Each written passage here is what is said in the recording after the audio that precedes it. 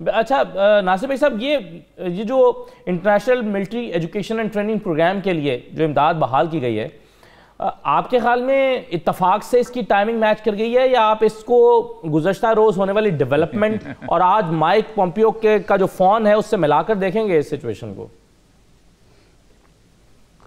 دیکھیے میں اوریہ صاحب نے جو بتایا ہے پورا تاریخ بہت کافی ہے میرا خیال ہے اس موضوع پر۔ تھوڑا سا میں ایک اضافہ کرنا چاہوں گا جرت دے مجھے اجازت دیجیے گا جی جی۔ کہ یہ جنرل قاسم سلمانی وہ جنرل تھے جو اپنے ملک کے بجائے اپنے ملک کے باہر اپنے ملک کا دفاع کرتے تھے۔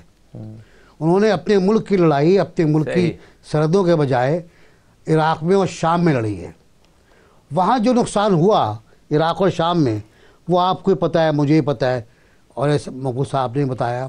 لیکن اب جو نقصان ہونے والا ہے اس کا بھی ہمیں اندازہ نہیں ہے۔ شام میں خانہ جنگی ہوگی، عراق میں خانہ جنگی کا آغاز بس ہوا چاہتا ہے۔ کل پومپیو نے ایک علاقے کی ویڈیو جاری کی تھی کہ وہاں جشن منایا جا رہا ہے جنرل سلمانی کے قتل پر۔ اور آج ٹیلی ویژن اسٹیشنز جو ہیں، وہ مختلف علاقوں کی فوٹیج جاری کر رہے ہیں۔ جلوس جنازہ کی جو عراق کی ہے، وہ بھی بہت لوگ ہیں۔ تو اب پھر ایک ڈویژن مجھے نظر آ رہا ہے اور یہ صاحب جانتے ہیں میں کیا عرض کر رہا ہوں۔ ایک پھر مجھے تقسیم نظر آ رہی عراق کے اندر اور اس کا اثر شام پہ پڑے گا۔ اب اس کے اندر ترکی بھی آئے گا، اس کے اندر روس بھی آئے گا، اس کے اندر تمام کھلاڑی واپس آئیں گے جو فی الحال خاموش ہو گئے تھے۔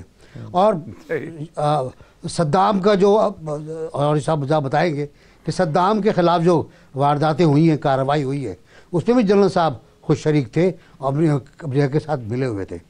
بہرحال ایک بڑا نقصان امریکہ کا ایران کا بہت بڑا نقصان ہوا ہے۔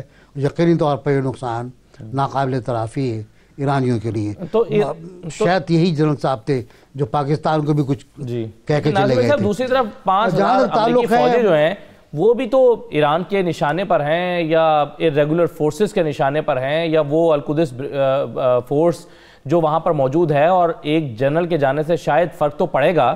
لیکن بہرحال ایک اور جنرل آ گئے ہیں اس کو ہیڈ کرنے کے لیے۔ تو امریکہ بھی تو ایٹ رسک ہے اب زیادہ شاید ان کو وہ انہوں نے خود کو خطرہ میں ڈال لیا ہے۔ امریکی صدارتی امیدوار کی امیدوار مطلب ابھی تو امیدوار نہیں بنی وہ امیدوار کی امیدوار ہیں تلسی لبارڈ گبارڈ انہوں نے کل ایک جملہ کہا ہے وہ بڑا تاریخی جملہ ہے کہ اگر ایران اور امریکہ کے درمیان لڑائی ہوتی ہے یا پروکسی ہوتی ہے تو پھر آپ افغانستان اور عراق کی جو جنگیں ہیں ان کو آپ پکنک سمجھیے گا۔ کہ وہ پکنک تھیں۔ یہ جنگ اتنی خوفناک ہوگی بقول ان کے۔